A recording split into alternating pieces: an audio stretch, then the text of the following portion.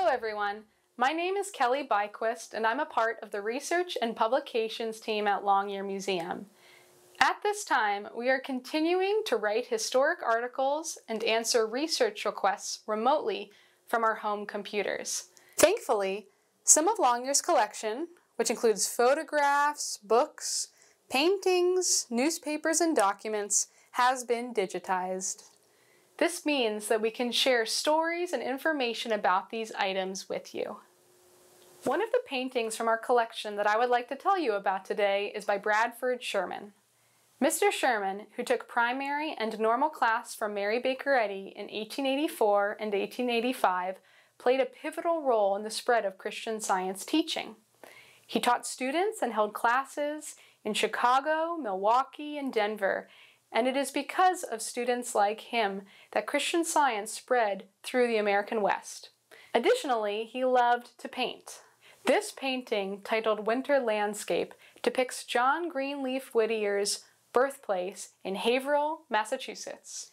Mrs. Eddy and the famous Quaker poet had lived in the same town of Amesbury, Massachusetts between the years 1867 and 1870. The two authors ran in similar literary circles, and over the years they exchanged letters, reading and commenting on each other's work. Mrs. Eddy also healed Whittier at one point. Today, nine of John Greenleaf Whittier's poems appear as hymns in the Christian Science hymnal, and more than a dozen of his poems were published in early volumes of the Christian Science Sentinel and the Christian Science Journal. In 1890, Bradford Sherman presented this special Christmas gift to Mrs. Eddy. She loved the painting so much that she hung it in the guest room at Pleasant View, her home in New Hampshire, and took it with her when she moved to Chestnut Hill, Massachusetts in 1908, where it graced Calvin Fry's office.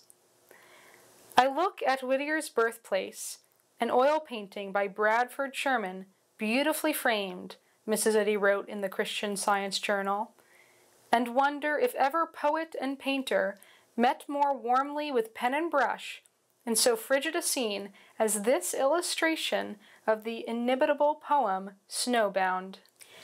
Snowbound was one of Whittier's most successful poems. The narrative nostalgically recounts a typical New England homestead in the dead of winter the children collecting kindling for the fire and feeding the animals in the barn while a snowstorm is brewing outside. The family huddles together around the fire, telling stories to pass the time. The verses drew on Whittier's own childhood memories of growing up on a working farm, with seven members of the family living under one roof.